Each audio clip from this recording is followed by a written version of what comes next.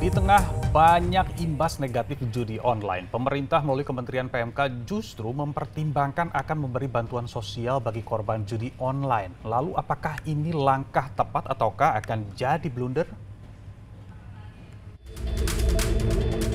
Gara-gara kecanduan judi online, seorang karyawan bank menggelapkan dana titipan Bank Indonesia senilai satu setengah miliar rupiah. Pelaku membuat catatan palsu untuk menarik dana secara bertahap dengan jumlah yang bervariasi.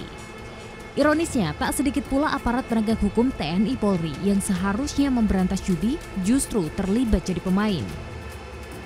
Pengelima TNI Jenderal Agus Subianto tegas akan memecat prajuritnya yang terlibat judi online. Ancaman pecat bahkan diucapkan sampai tiga kali. Antisipasi biar prajurit jerat judi online gimana Pak? Antisipasinya Pak? Yang jelas kalau yang melanggar saya hukum. Ya.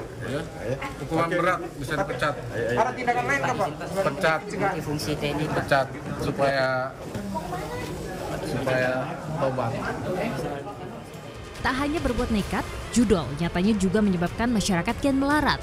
Menteri PMK Muhajir Effendi mengusulkan akan memberikan bantuan sosial bagi para korban judi online.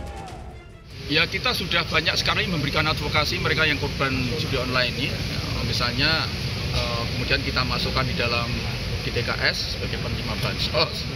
Ya, kemudian mereka yang mengalami gangguan psikososial, kemudian kita minta Kemensos untuk turun untuk melakukan pembinaan. Judi online terus eksis dan menjadi bahaya laten di masyarakat. Lantas, pantaskah bansos dibagikan kepada para korban judi online? Tim Liputan Amnesty TV melaporkan.